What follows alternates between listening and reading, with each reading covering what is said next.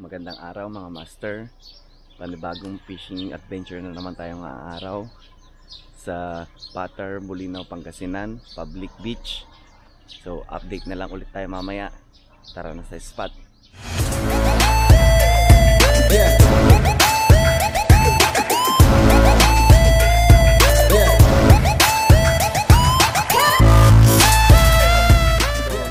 Po tayo sa spot mga master. Kita niyo po.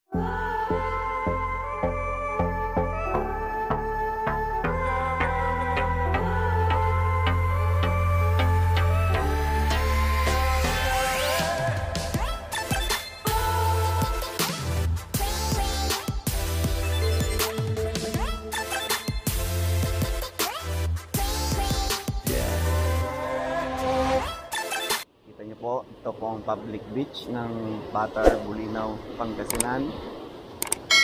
try po natin mag-cast dito. Sa mga batuhan muna tayo at medyo malalim.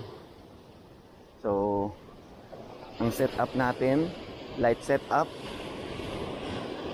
rod, good catch champion, 7.3 light, ang reel Shimano Stradic 2500 HG ang line Izuna 12 pounds.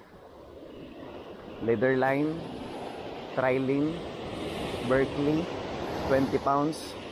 At ang lure natin ang Sea Knight Blade Series 9.5 grams.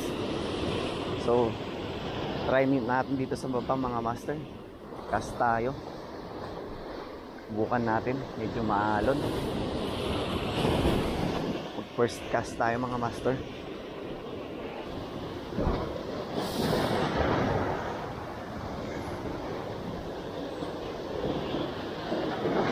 First cast mga master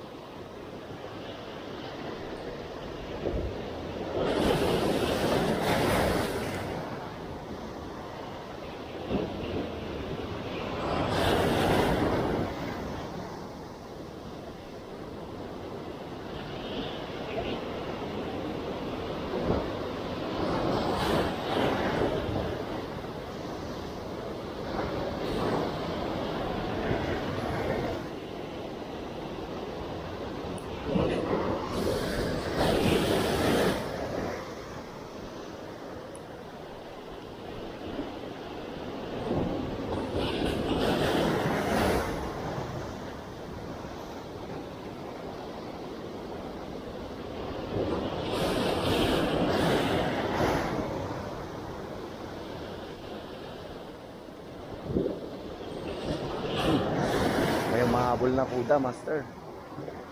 May mahabol na mga barakuda. Ang spot, mga master. At masa tayo doon sa mga batuhan. Try natin dito.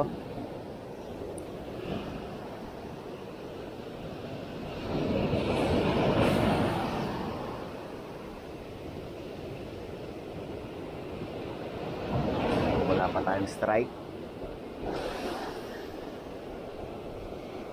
Oh. Try pa rin natin mag-cast.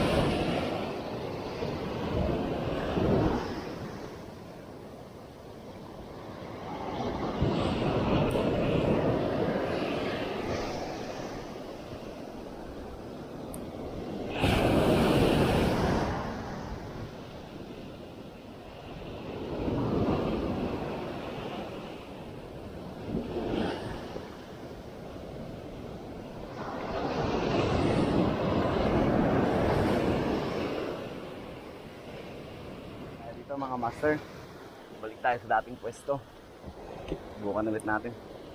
Malalaki na ang alon. High tide na. Master. So, sa wakas, naka-strike din tayo. Tignan natin kung ano to.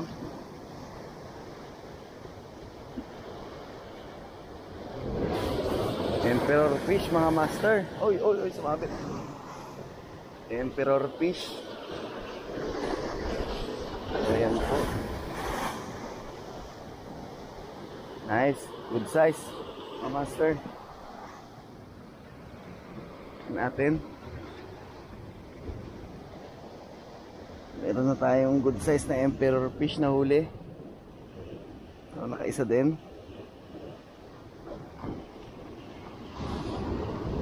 O yan. Oh. Dahan.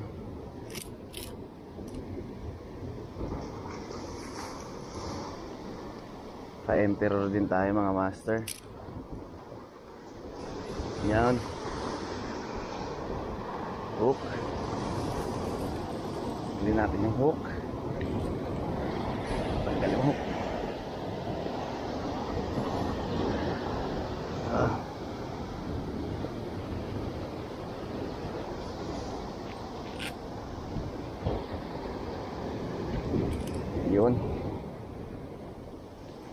Okay. Good size emperor fish.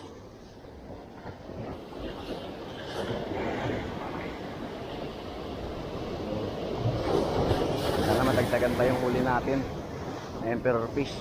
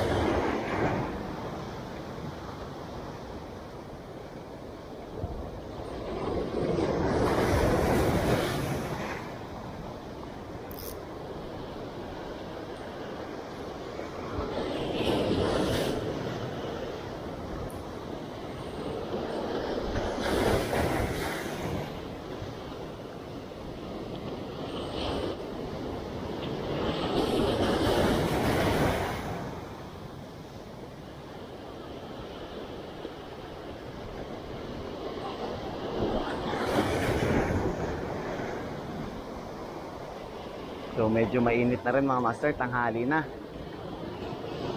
So last cast na rin siguro natin to. Mas, medyo mainit na. Tingkat na araw.